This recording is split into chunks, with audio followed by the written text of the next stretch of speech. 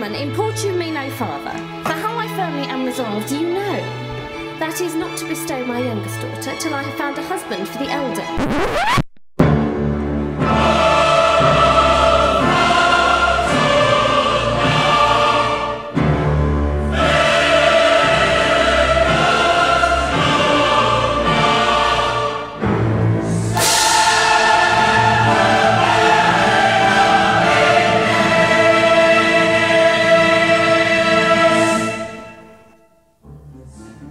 Why will you mew her up, Madame Baptista, for that fiend of hell, and make her pay the penance of Kate's tongue?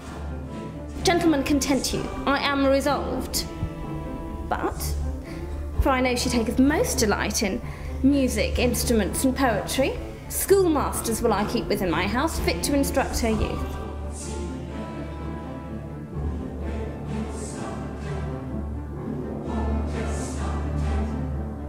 Thinkest thou, Baptista, though her mother be very rich, that any man is so very a fool as to be married to hell?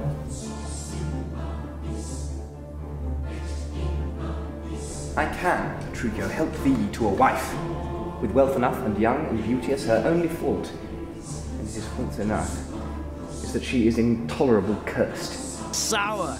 And shrewd and Shrewish. and froward. She's too rough for me. But were my state far worse than it is, I would not wed her for a mine of gold. Hortensio, peace. Thou knowest not gold's affair.